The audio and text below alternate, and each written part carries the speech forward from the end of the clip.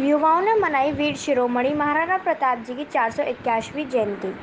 चौमुहा। ब्रजनगरी मथुरा में रविवार के दिन कोरोना गाइडलाइंस का ध्यान रखते हुए हिंदू हृदय सम्राट वीर शिरोमणि महाराणा प्रताप की तरौली गाँव के अंतर्गत महाराणा प्रताप जी की प्रतिमा पर माल्यार्पण एवं पुष्प अर्पित कर चार सौ जयंती मनाई गई।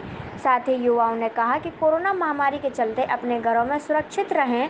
कोरोना गाइडलाइंस का पालन करने हेतु आयोजन का समापन किया गया। मौके पर कुंवर राकेश सिसोदिया, अमित सिसोदिया राहुल सिसोदिया, प्रताप सिसोदिया, पवन सिसोदिया, राहुल पंडित, राहुल दीपक, देवी सिंह, कालू, विजय, विशाल, लक्ष्मी नारायण, सुनील, चंदू, चिरमौली, पहलवान आदि मौजूद रहे।